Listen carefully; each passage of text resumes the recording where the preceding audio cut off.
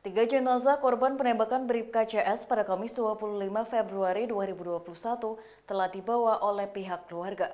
Keluarga telah diotopsi di instalasi forensik RS Polri Kramajati, Jakarta Timur pada 25 Februari kemarin.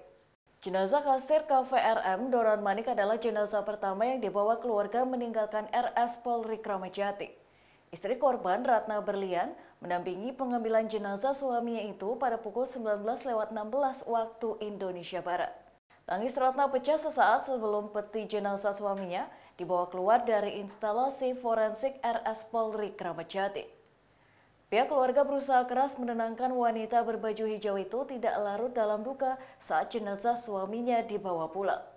Jenazah Doran yang baru sekitar enam bulan bekerja sebagai kasir di KVRM akan dimakamkan di Lampung. Sementara jenazah kedua, Ferry Saud Simanjutak, dibawa keluarga meninggalkan instalasi forensik sekira pukul 19 lewat 27 menit waktu Indonesia Barat. Dilansir oleh tribunjakarta.com, jenazah Ferry rencananya disemayamkan di kawasan Green Garden, Jakarta Barat. Jenazah ketiga yang paling terakhir dibawa yakni anggota Kostra TNI AD Praka Martinus Rizky Kardo Sinura. Terpantau jenazah Praka Martinus dibawa keluar instalasi forensik RS Polri Kramajati pada pukul 19 lewat 35 waktu Indonesia Barat. Rencananya, keluarga akan memakamkan jenazah ayah dua anak itu di kampung halamannya di Sumatera Utara. Sebelum dibawa ke rumah duka di Kecamatan Cisoka, Tangerang, sejumlah personel Kostra TNI AD menyempatkan memberi penghormatan padanya. Saat penghormatan terakhir, Komandan Denma Kostrat Kolonel Infanteri Wahyu Diliuda Irawan tampak hadir bersama sejumlah personel Kostra TNI AD lainnya. Istri Praka Martinus Harti Simamora berkaus oranye tampak ikut menaiki mobil membawa peti jenazah suaminya.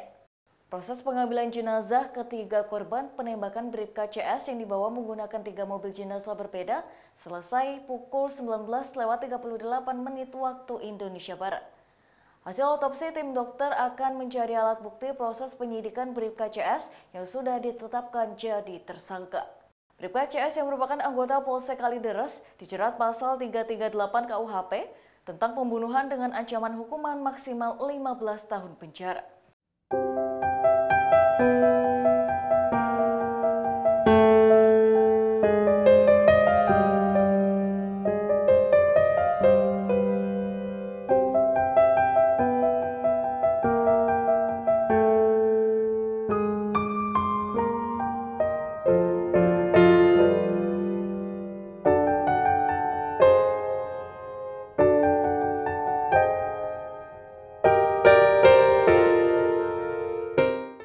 Demikian Tribun News Update kali ini. Nantikan informasi berikutnya hanya di tribunnews.com. Terima kasih sudah nonton. Jangan lupa like, subscribe, dan share ya.